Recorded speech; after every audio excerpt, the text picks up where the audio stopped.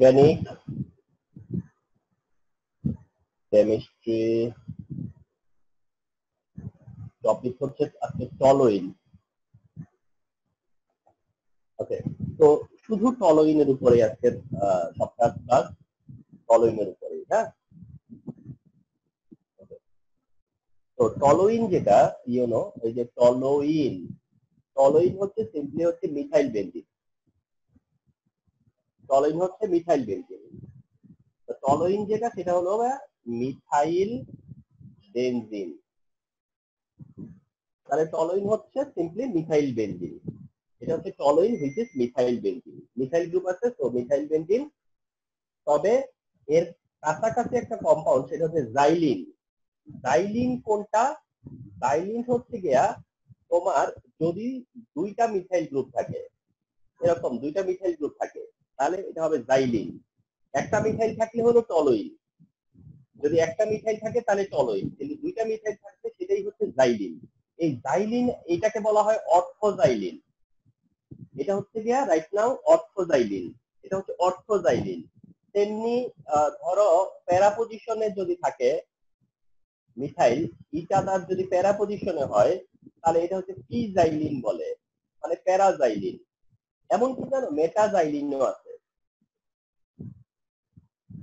মেটাজাইলিনও আছে। যদি মেটা পজিশনে থাকে, তাহলে হলো মেটাজাইলিন এখানে তোমাদের একটা কনফিউশন কাজ করতে পারে যে তোমরা ভাবতে পারো যে, স্যার, আমরা তো জানতাম যে ইদার একটা গ্রুপ অর্থপ্যারা ডাইরেক্টিং হয়, নয়তো মেটা ডাইরেক্টিং হয়। তাহলে কম্পাউন্ড অর্থপ্যারা হতে পারে, হলে হবে, আর নয়তো মেটা হলে মেটাই হবে। আসল কথাটা কি জানো? মনে রাখবা যে বেঞ্জিনের সাথে বেঞ্জিনে যদি দুইটা সাবস্টিটিউয়েন্ট থাকে বেঞ্জিনের যদি দুইটা সাবস্টিটিউয়েন্ট থাকে, তাহলে কম্পাউন্ড হিসেবে অর্থ কম্পাউন্ড প্যারা কম্পাউন্ড মেটা কম্পাউন্ড সবই হতে পারে। কম্পাউন্ড হিসেবে সব রকম অর্থ হতে পারবে, প্যারা হতে পারবে মেটা হতে পারবে। এখন তুমি ভাবতে পারো যে এই মিথাইল থাকা অবস্থায় এই মিথাইল কীভাবে মেটা পজিশনে আসছে। ঠিক আছে? মিথাইল এইটা কীভাবে মেটা পজিশনে আসছে? তো এইটা হচ্ছে গিয়া প্রথম কথা হচ্ছে যে যখন তুমি রিয়াকশন করবা, তখন হয়তো একটা অর্থ কম্পাউন্ড দিবা, একটা প্যারা কম্পাউন্ড দিবা। যখন তুমি রিয়াকশন করবা তখন হয়তো একটা কম্পাউন্ড অর্থ হবে আর একটা কম্পাউন্ড প্যারা হবে। কিন্তু তার মানে এই না যে মেটা কম্পাউন্ড হয় না। ওকে তো এটা মিন করে না যে মেটা কম্পাউন্ড এক্সিস্ট করে না। মেটা কম্পাউন্ড এক্সিস্ট করে তার, কিন্তু সেটা হয়তো মাইনর এখানে, বা সেটা প্রপোর্শনালি কম হবে। বাট মেটা কম্পাউন্ড কিন্তু এক্সিস্ট করবে। আচ্ছা তো এটা গিয়া তোমার হচ্ছে জাইলিনের টাইপ অর্থ জাইলিন প্যারা অর্থোজাইলিন প্যারাজাইলিন মেটাজাইলিন আচ্ছা। তো টলোইন হচ্ছে আমাদের টপিক বাট টলোইনের ক্লোজ টু বা টলোইনের কাছাকাছি কম্পাউন্ড হচ্ছে জাইলিন যেটা আমাদের নলেজে রইল। আমরা একটা জিনিস বেঞ্জিনের জায়গায় বলিনি, এখানে একটু মেনশন করি, সেটা হচ্ছে উডের উডের ডিস্ট্রাকটিভ ডিস্টিলেশন ডিস্টিলেশন উডের ডিস্ট্রাকটিভ ডিস্টিলেশন করা হলে, ঠিক আছে? ডিস্ট্রাকটিভ ডিস্টিলেশন উডের, উড মানে উড, কাঠ। তো উডের ডিস্ট্রাকটিভ ডিস্টিলেশন করলে সেখান থেকে পাওয়া যায় হলো কোলটার। কোলটার মানে আলকাতরা বলি আমরা হ্যাঁ? কোলটার। ঠিক আছে? তাহলে উডের ডিস্ট্রাকটিভ ডিস্টিলেশন সেটা হচ্ছে কোলটার। এই কোলটারটাকে হ্যাঁ কোলটার থেকে আমরা ফ্র্যাকশনাল ডিস্টিলেশন করে ফ্র্যাকশনাল ডিস্টিলেশন করে আমরা কি করি? এই তোমার বেনজিন মানে ওয়ান সেভেন্টি ডিগ্রি সেলসিয়াস থেকে টু থার্টি ডিগ্রি সেলসিয়াসে ওয়ান সেভেন্টি ডিগ্রি সেলসিয়াস থেকে টু থার্টি ডিগ্রি সেলসিয়াসের মধ্যে এই ডিস্টিলেশনটা করা হয় ফ্র্যাকশনাল ডিস্টিলেশনটা ওয়ান সেভেন্টি ডিগ্রি সেলসিয়াস থেকে টু থার্টি ডিগ্রি সেলসিয়াস টেম্পারেচারের মধ্যে এই ডিস্টিলেশনটা করা হয়। তো এই ডিস্টিলেশন করলে একটা স্টেপে বেনজিন পাওয়া যায় টলোইন পাওয়া যায় নেপথালিন পাওয়া যায়। নেপথালিন তাহলে বেনজিন টলোইন আর নেপথালিন হ্যাঁ বেনজিন টলোইন আর নেপথালিন এগুলো তোমার পাওয়া যায় হচ্ছে একটা স্টেপে আর এগুলো যে, যেখান থেকে পাওয়া যায়, এই এই পার্টটাকে বলা হয় লাইট অয়েল এইটাকে বলা হয় লাইট অয়েল এই পোর্শনটুকুকে বলা হয় লাইট অয়েল তার মানে উডের ডিস্ট্রাকটিভ ডিস্টিলেশন থেকে যে কোলটার পাওয়া যায় বা পাওয়া যায়, সেটাকে আমরা কি করি? ফ্র্যাকশনাল ডিস্টিলেশন করি। ফ্র্যাকশনাল ডিস্টিলেশন করলে ওয়ান সেভেন্টি থেকে টু থার্টি ডিগ্রি সেলসিয়াসের মধ্যে মানে এই টেম্পারেচারের মধ্যে আমরা প্রথমে পাই হচ্ছে লাইট অয়েল যেটার মধ্যে থাকে হচ্ছে গিয়া বেনজিন টলোইন ন্যাপথালিন যেটাকে বলা হয় হচ্ছে লাইট অয়েল এই লাইট অয়েল হচ্ছে গিয়া তোমার ওয়ান সেভেন্টি ডিগ্রি সেলসিয়াস থেকে ওয়ান এইটি বা ডিগ্রি সেলসিয়াস অথবা তার কাছাকাছি টেম্পারেচারে বা অ্যারাউন্ড এরকম টেম্পারেচারে লাইট ওয়েল পাওয়া যায়। তারপরে যেটা পাওয়া যায় সেটা মিডল ওয়েল এরপরে যেটা পাওয়া যায় সেটি হ্যাভি অয়েল তো এরকম স্টেপ টু স্টেপ পাওয়া যায়। তাহলে এখন আমরা লাইট ওয়েল থেকে পাওয়া যায় বেনজিন আর লাইট ওয়েল থেকে পাওয়া যায় টলোইন তো বেনজিন টলোইন ডাইলিন সরি ন্যাপথালিন না। ডাইলিন জাইলিন ন্যাপথালিন পাওয়া যায় হ্যাভি অয়েল থেকে। তাহলে বেনজিন টলোইন জাইলিন এগুলো হচ্ছে লাইট অয়েলে তো এগুলো যদি তোমরা কখনো এমসিকিউ ফেস করো এমসিকিউটা যদি এমন হয় যে লাইট ওয়েল থেকে নিচের কোনটা পাওয়া যায় বা যায় না, তাহলে পাওয়া যায় বলতে বেনজিন টলোইন জাইলিন। আর যায় না বললে বাকি যারা, তারা। ওকে তো এই হচ্ছে গিয়ে তোমার একটা নলেজ দিয়ে দিলাম। তো যাই হোক ওই টলোইন বেনজিন এগুলি সবই উড থেকে পাওয়া যায়। উড থেকে ডিস্টিলেশন করে পাওয়া যায়। কোল্টার থেকে আলকাত্রা থেকে। আচ্ছা। তো এখন আসো যে আমরা এই টলোইনের প্রিপারেশনে যাব। টলোইনের প্রিপারেশন হ্যাঁ? টলোইনের প্রিপারেশনে আমরা দুইটা মেথড অ্যাপ্লাই করব। তার ফার্স্ট মেথডটা হচ্ছে Friedel Crafts reaction Friedel Crafts reaction okay তো Friedel Crafts reaction by this time আমাদের একটা নন রিঅ্যাকশন ফ্রিডল ক্র্যাপ রিঅ্যাকশনটা হচ্ছে বাই দিস টাইম আমাদের একটা নন রিঅ্যাকশন যে রিঅ্যাকশনটা কি? Benzene plus methyl chloride dry aluminium ক্লোরাইডের প্রেজেন্সে প্রডিউস করতেছে মিথাইল বেনজিন। যেটা কিনা ফ্রিডল ক্যাপ রিয়াকশন তাহলে ফ্রিডল ক্যাপ রিঅ্যাকশন যেটা one of the process of one of the method of preparation of toluene তো টলোইন প্রিপারেশনের জন্য এটা একটা আইডিয়াল মেথড তাই না? তাহলে ফ্রিডল ক্যাপ রিয়াকশন দিয়েও তুমি কি করতে পারো? টলোইন প্রিপেয়ার করতে পারো। তাহলে benzene plus methyl chloride dry aluminium chloride প্রেজেন্সে methyl benzene বা টলোইন হয়, তো এটা আমাদের নলেজ আছে। আরেকটা রিঅ্যাকশন আছে, সেটাকে বলা হয় উড ফিটিক রিঅ্যাকশন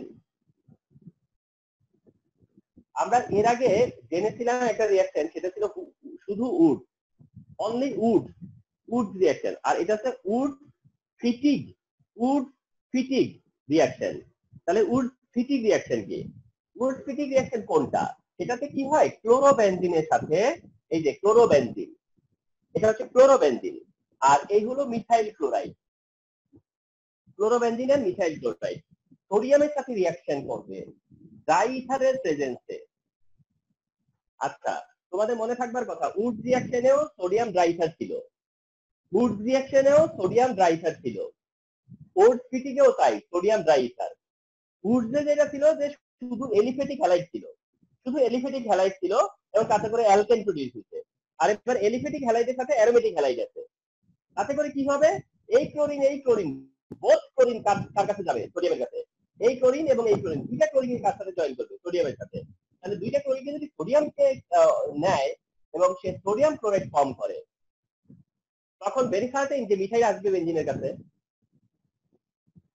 মিথাইল যদি বেঞ্জিনের কাছে আসে, তখন কি হয়ে যাবে? Methyl benzene that is toluene তাহলে টলোইন প্রিপারেশনের জন্য এই হচ্ছে দুইটা মেথড একটা হচ্ছে উড রিঅ্যাকশন আর উড পিটিক রিঅ্যাকশন আর একটা হচ্ছে ফিডল ক্যাপ ফিডল ক্যাপ আমরা বেশিরভাগ প্র্যাকটিস করি মোস্ট অফ দ্য টাইম আমরা ফিডল ক্যাপ মেনশন করি।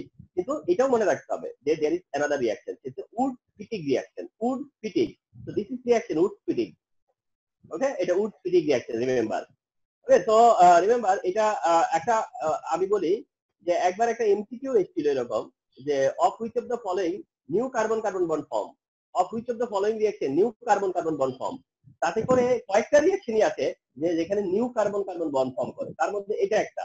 কারণ দেখো, এখানে কিন্তু যে কার্বনের বেনজিনের কার্বনের সাথে মিথাইলের কার্বন কিন্তু বন্ড ফর্ম করছে। ঠিক আছে? তো ওই একটা রিঅ্যাকশনের পুরো সব দিক থেকে দেখতে হবে। একটা রিঅ্যাকশন খুব ভালো করে চেনা থাকতে হবে তোমার কাছে। খুব ভালো চেনা থাকতে হবে।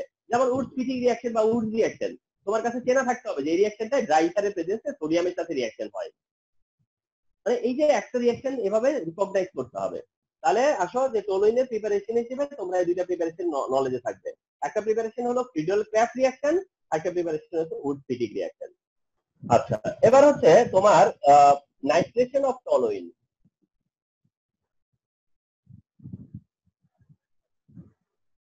nitration of toluene মানে আমরা টলোইনের নাইট্রেশন পার্টটা দেখব। বেঞ্জিনের যেমন তোমার হ্যালোজিনেশন নাইট্রেশন অ্যালকাইলেশন সালফোনেশন দেখছ? টলোইনের আসলে এত দরকার হয় না। নাইট্রেশনটা করলেই হয়। তাহলে নাইট্রেশন অফ টলোইনটা আমরা এখন দেখব। নাইট্রেশন অফ টলোইন বলতে টলোইন মানে মিথাইল বেঞ্জিন তাহলে মিথাইল বেঞ্জিনকে নাইট্রেশন করব আর আমরা নাইট্রেশন করি কিসের প্রেজেন্সে nitric acid and concentrated sulphuric acid তাহলে আমরা নাইট্রেশন বলতেই বুঝি যে নাইট্রিক অ্যাসিডের সাথে রিঅ্যাকশন সালফিউরিক অ্যাসিডের প্রেজেন্সে আচ্ছা যেহেতু এখানে মিথাইল গ্রুপ প্রেজেন্ট আছে, এই যে মিথাইল গ্রুপ যেহেতু প্রেজেন্ট আছে, তাহলে আমরা মিথাইল গ্রুপের সম্পর্কে জানি যে এটা হচ্ছে অর্থোপ্যারা ডাইরেক্টিং গ্রুপ তাইলে এটার অর্থোপ্যারা ডাইরেক্টিং গ্রুপ হওয়াতে একটা নাইট্রো আসবে অর্থ পজিশনে আরেকটা নাইট্রো আসবে হচ্ছে প্যারা পজিশনে মানে একটা নাইট্রো আসছে অর্থ পজিশনে আরেকটা নাইট্রো আসছে হচ্ছে প্যারা পজিশনে মানে একটা অর্থ নাইট্রো টলোইন আর একটা হচ্ছে para nitro toluene ortho nitro toluene and para toluene okay এখানে বাই প্রোডাক্টটা আমরা ইগনোর করে যাচ্ছি। মানে বাই প্রোডাক্ট ওয়াটার হচ্ছে না, এটা আমরা ইগনোর করে যাচ্ছি। আচ্ছা এখানে টোয়েন্টি ফাইভ ডিগ্রি সেলসিয়াসে রিয়াকশনটা হয়। টোয়েন্টি ফাইভ ডিগ্রি সেলসিয়াসে আচ্ছা এখানে রিয়াকশনের টেম্পারেচারটা খুবই সিগনিফিকেন্ট মানে মনে রাখতেই হবে তোমাদেরকেও। এবার কি করা হয়, ওই অর্থনাইট্রোটলোইন আর যে প্যারানাইট্রোটলোইন আছে, এই অর্থনাইট্রোটলোইনের প্যারানাইট্রোটলোইনকে কি করা হয়?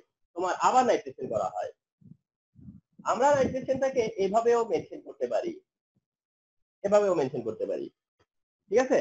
তার মানে এদেরকে আবার নাইট্রেশন করা হলো। নাইট্রেশন করলে যেটা হবে, তখন একটাই কম্পাউন্ড হবে, যার কিনা অর্থতেও নাইট্রো থাকবে, প্যারাতেও নাইট্রো থাকবে।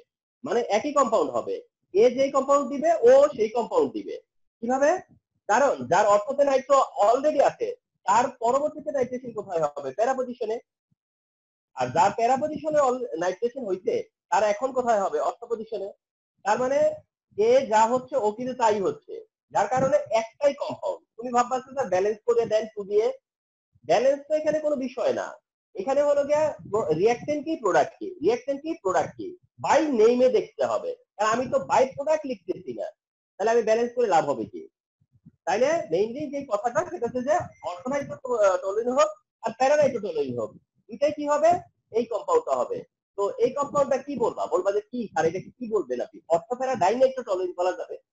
অর্থপ্যারা ডাইনাইট্রোটোলিন বলা যাবে। আর নাম্বারিং করে বললে two four dinitrotoluene two four dinitrotoluene তাও বলা যাবে নাম্বারিং করে বলা যাবে।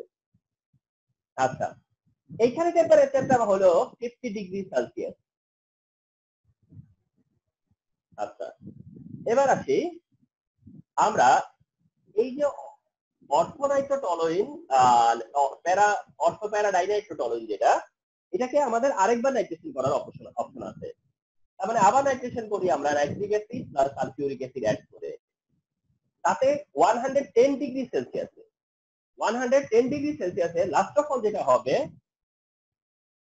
লাস্ট অল যেটা হবে সেটা হচ্ছে অর্থোপেরাইট্রো আছে, প্যারাতেও নাইট্রো আছে, নতুন করে আরেকটা যে অর্থ পজিশন রয়ে গেছে সিক্স নাম্বার ওখানে নাইট্রেশন হবে।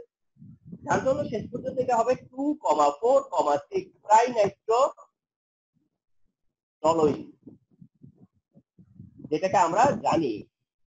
আমরা বলি হচ্ছে টিএনটি টিএনটি অর্থাৎ ট্রাইনাইট্রোটলোইন টিএনটি ট্রাইনাইট্রোটলোইন তোমরা ট্রাইনাইট্রোটলোইনের নাম শুনেছো? যেটা একটা এক্সক্লুসিভ ওকে তো এটাই হচ্ছে সেই TNT and this is the preparation of TNT over here তাহলে টলোইনকে নাইট্রেশন করলে টলোইনকে নাইট্রেশন করলে স্টেপ তিনটে স্টেপে শেষ পর্যন্ত কি হবে? টিএনটি প্রডিউস হবে। তার মানে টলোইনকে নাইট্রেশন করলে নর্মালি ফার্স্টে কি হবে? অর্থনাইট্রোটলোইন হবে প্যারানাইট্রোটলোইন হবে। ফলোড বাই নাইট্রেশন করলে ডাইনাইট্রোটলোইন হবে। এন্ড তারপরে নাইট্রেশন করলে ট্রাইনাইট্রোটলোইন হবে। এন্ড ট্রাইনাইট্রোটলোইনকে আমরা জানব যে এটাকে টিএনটি বলে। তার মানে টিএনটির টিএনটি কার থেকে হয়? টলোইন থেকে। টিএনটি কার থেকে হয়? টলোইন থেকে হয় রিমেম্বার তাহলে টিএনটি পাওয়া যায় কার কাছ থেকে? সেটা হচ্ছে টলোইন থেকে পাওয়া যায়। তো এটা ভেরি ইম্পর্টেন্ট রিয়াকশন যে টলোইনে নাইট্রেশন এই কারণেই তোমার টলোইনের নাইট্রেশনটা কেন ইম্পর্টেন্ট মানে why not other reaction of toluene টলোইনের অন্য রিয়াকশনের চাইতে এই রিয়াকশনটা কেন বেশি ইম্পর্টেন্ট কেন বা না জানা এবার এটা কত বেশি ইম্পর্টেন্ট সেটা তোমরা এমনিতেই দেখেই বুঝতে পারবে তাই না? স্টেম হিসেবে এটা কাজ করবে, এটা তোমার অ্যান্সার করার জন্য তোমাকে কাজে লাগাতে হবে। তাহলে আমরা কি করছি? টলোইনকে নাইট্রেশন করছি। আমরা যাকেই নাইট্রেশন করি না কেন টলোইন বলো বেনজিন বলো, যাকেই করি না কেন, আমরা কি অ্যাড করব? নাইট্রিক অ্যাসিড সালফিউরিক অ্যাসিড এখন নাইট্রিক অ্যাসিড সালফিক অ্যাসিড দিলে আমরা নাইট্রেশন হবে। তো এটা যেহেতু অর্থপ্যারা ডাইরেক্টিং নাইট্রেশন কোথায় হবে? অর্থতে বেড়াতে আলাদা করে কিন্তু প্রথমে। তারপর যখন তুমি একে নাইট্রেশন করতেছো একে সিঙ্গেলি চিন্তা করো তো, একে সিঙ্গেলি চিন্তা করো একে আবার নাইট্রেশন করছ।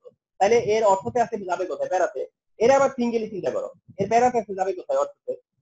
তো তখন একই কম্পাউন্ড হইছে ডাইনাইট্রোটোলিন হইছে এবং পরবর্তীতে যখন ডাইনাইট্রোটোলিন তখন আবার আরেকটা অর্থ পজিশনে নাইট্রেশন হইতে পারে। ঠিক আছে? তো সেটা হইতে গেলে শেষ পর্যন্ত হইতেছে ট্রাইনাইট্রোটোলিন যেটা হচ্ছে টিএনটি তো টিএনটি হচ্ছে গিয়ে তোমার ট্রাইনাইট্রোটোলিন ট্রাইনাইট্রোটোলিন এখন তুমি ভাববা যে তোমাদেরকে একটা জিনিস দেখানো হয় নাই, কিন্তু দেখালে, দেখানো যেত। কি জানো সেটা? সেটা হচ্ছে গিয়া টি এন বি অর্থাৎ ট্রাইনাইট্রোবেনজিন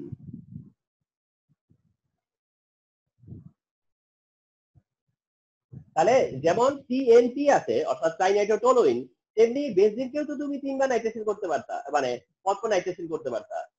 যদি তুমি বেনজিনকে এরকম পরপর নাইট্রেশন করতাম বেনজিনকে, তাহলে কিন্তু সেটা কি হইতো? ট্রাইনাইট্রো বেনজিন হতো তখন। তার মানে ট্রাইনাইট্রো টোলুইন যেমন আছে, তেমনি কিন্তু ট্রাইনাইট্রো বেনজিনও আছে, মনে রেখো। টিএনবি বলে যেটাকে ট্রাইনাইট্রো বেনজিন ট্রাইনাইট্রো বেনজিনের সময় আবার নাইট্রো রেসপেক্টে মেটা পজিশনে আছে বাকি দুইটা নাইট্রো আছে মেটা পজিশনে প্রথম নাইট্রো প্রথম নাইট্রো আছে, তারপরে নাইট্রো গুলা সব মেটা পজিশনে কারণ নাইট্রো মেটা ডাইরেক্টিং তাহলে ওটা হচ্ছে তোমার টিএনবি তাহলে যেমন টিএনটি আছে, তেমন কিন্তু টিএনবিও আছে, ওকে? এখন আসো, আরেকটা জিনিস এখানে মেনশন করতেই হচ্ছে and which is very important effective which is very important and effective এবং সেটা কি জিজ্ঞাসা করে জানো? জিজ্ঞাসাটা করে এরকম যে তোমার টোলুইনকে নাইট্রেশন করলে টোলুইনকে নাইট্রেশন করলে তোমার কেন টেম্পারেচার গ্র্যাজুয়ালি ইনক্রিজ করতে হচ্ছে? কেন টেম্পারেচারটা গ্র্যাজুয়ালি ইনক্রিজ করতে হচ্ছে? কেন ইনক্রিজ করতে হচ্ছে? কেউ কি বলতে পারবা? কনসেপ্টটা কি? আচ্ছা যাই হোক, তোমরা মানে এখন আমি বলব লাস্ট ক্লাসগুলো আরও ভালো করে দেখো। এটা হচ্ছে মিথাইল হলো ring activating group ortho para directing cum ring activating group তার মানে মিথাইলের প্রেজেন্সে টোলোইন যতটা রিঅ্যাক্টিভ ছিল সে দিছে টোয়েন্টি ফাইভ ডিগ্রি সেলসিয়াস টেম্পারেচারে রিঅ্যাকশন করতেছে।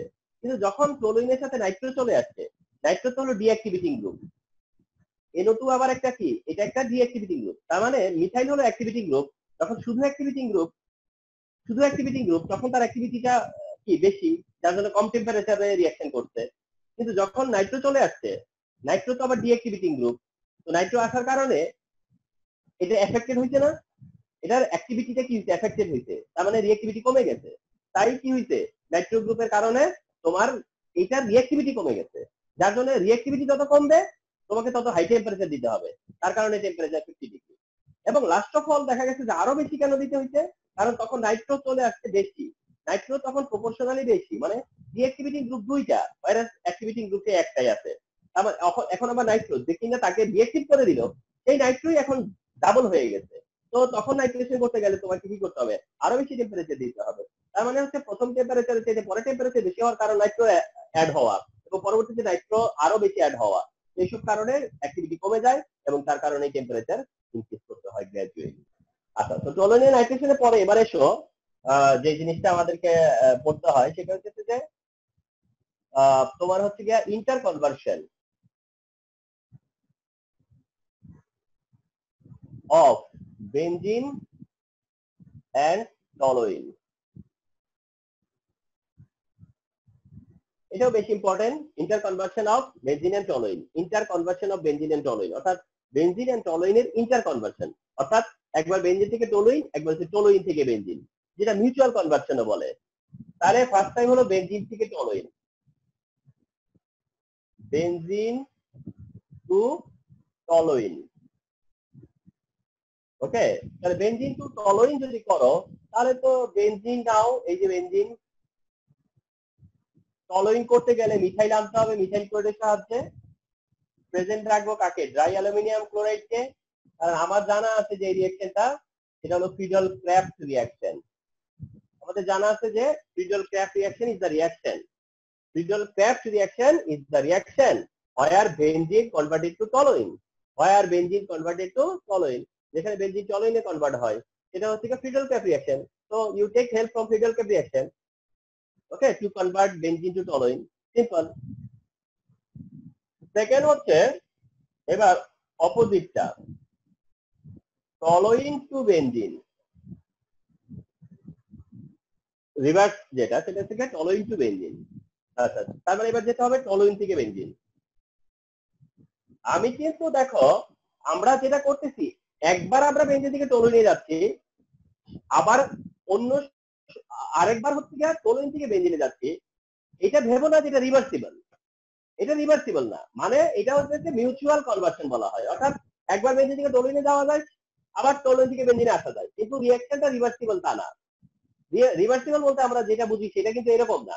রিভার্সিবল মানে কি? যেটা এট এ টাইমে ফরওয়ার্ড এট এ টাইমে ব্যাকওয়ার্ড এরকম কিছু না এটা। এটা হলো আলাদা আলাদা দুইটা কনভার্সন এবার টলুইন টু বেনজিন টলুইন থেকে বেনজিনে যাওয়ার জন্য আমরা কি করে যাব? এই যে আমাদের টলুইন তাকে আমরা বেনজিনে কনভার্ট করব। তাহলে টলুইনকে যদি আমরা বেনজিনে কনভার্ট করি, খেয়াল করে নিও। টলুইনকে বেনজিনে কনভার্ট করে আমরা টলুইনকে কি করব? ন্যাসেন্ট অক্সিজেন দিব। এখন এই ন্যাসেন্ট অক্সিজেন কাকে দিবে? এটা মেনশন না করলেও খুব বেশি দোষের হবে না। আমার দরকার হলে ন্যাসেন্ট অক্সিজেন মানে অক্সিডাইজ করা। আমরা এটাকে অক্সিডাইজ করব। তার জন্য তুমি ন্যাসেন্ট অক্সিজেন মেনশন করলেও আমরা একসেপ্ট করব। আমার টার্গেট হলো এটাকে সি ডাবল এইচ এ কনভার্ট করা। আমার টার্গেট হলো এটাকে সি ডাবল এইচ এ কনভার্ট করা। সি ডাবল এইচ এ কনভার্ট করা। করলাম সি ডাবল এইচ এ কনভার্ট আচ্ছা। তারপরে আমি কি করব? এখানে সোডিয়াম অ্যাড করে দিব। সোডিয়াম অ্যাড করে দিব অথবা সোডিয়াম হাইড্রোক্সাইড অ্যাড করতে পারতাম। সোডিয়াম অথবা সোডিয়াম হাইড্রোক্সাইড অ্যাড করব। করার করার কারণটা কি? তাতে করে I will obtain C double N a অর্থাৎ আমরা তখন কি পাবো? We will get sodium benzoate sodium benzoate তার মানে হচ্ছে আমরা টলুইনকে কি করলাম? বেনজয়িক অ্যাসিডে কনভার্ট করলাম। উদ্দেশ্য হচ্ছে কি? এটাকে সোডিয়াম বেনজয়েডে কনভার্ট করা। আচ্ছা এটা কেন করতে হবে? কারণ সোডিয়াম বেনজয়েটে আমরা সোডিয়াম হাইড্রোক্সাইড আর ক্যালসিয়াম অক্সাইড, তোমরা জানো, সোডিয়াম হাইড্রোক্সাইড আর ক্যালসিয়াম অক্সাইড টুগেদার হচ্ছে সোডা লাইম সোডিয়াম হাইড্রোক্সাইড আর ক্যালসিয়াম অক্সাইড টুগেদার হচ্ছে সোডা লাইম আমরা সোডিয়াম যদি ব্যবহার করি, তাহলে এটা বেনজিনে কনভার্ট হবে। দেন এটা বেনজিনে কনভার্ট হবে। তোমাদের জানা আছে বা দেখে নিও, আবার একটু মনে করে দেখো, এটাকে ডিকার্বক্সিলেশন বলে। এটাকে ডিকার্বক্সিলেশন বলে। তার মানে এই মিথাইলটাকে যদি তুমি রিমুভ করতে চাও, তোমরা রিমুভ করতে চাও মিথাইলটাকে, তার মানে কার্বনকে আসলে রিমুভ করা লাগবে। কার্বন কার্বন বন্ড থেকে কার্বন রিমুভ করার একটাই বুদ্ধি, সেটা হলো ডিকার্বক্সিলেশন।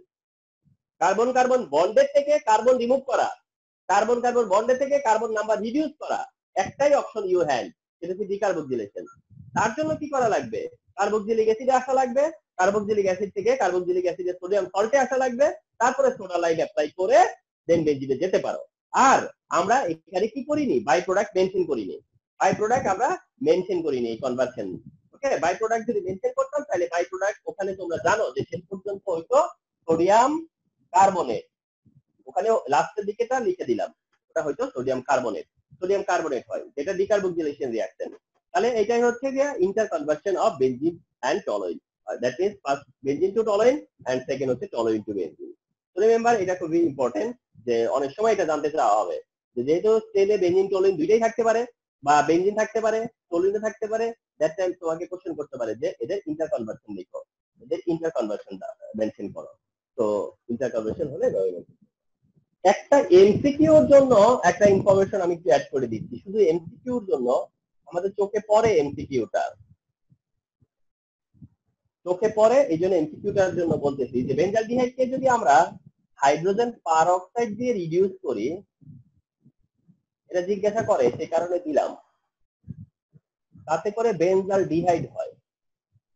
তাতে করে বেঞ্জাল ডিহাইড হয়। মানে তোমরা যেটা দেখলা যে টলুইনকে অক্সিডাইজ করি আমরা যখন টলুইনকে যখন আমরা অক্সিডাইজ করি, তখন সেটা বেঞ্জয়িক অ্যাসিড হয়, তার জন্য আমরা ন্যাসেন্ট অক্সাইড অ্যাড করছি।